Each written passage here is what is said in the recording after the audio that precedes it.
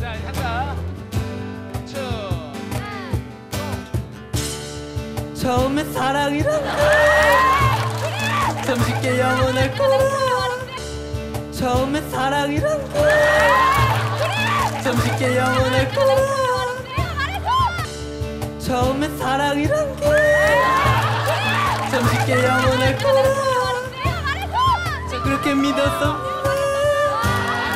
그렇게 믿었어 저 밴드 상 줘야 돼, 상. 나에게 사랑해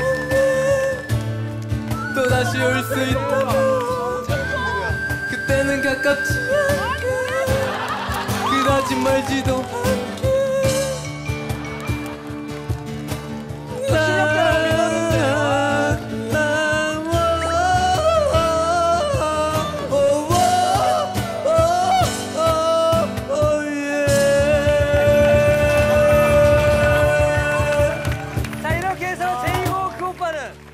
은퇴했습니다.